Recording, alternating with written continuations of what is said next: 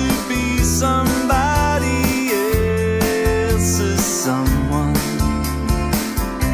that didn't work out all that well for me. Now I am out there looking for that someone.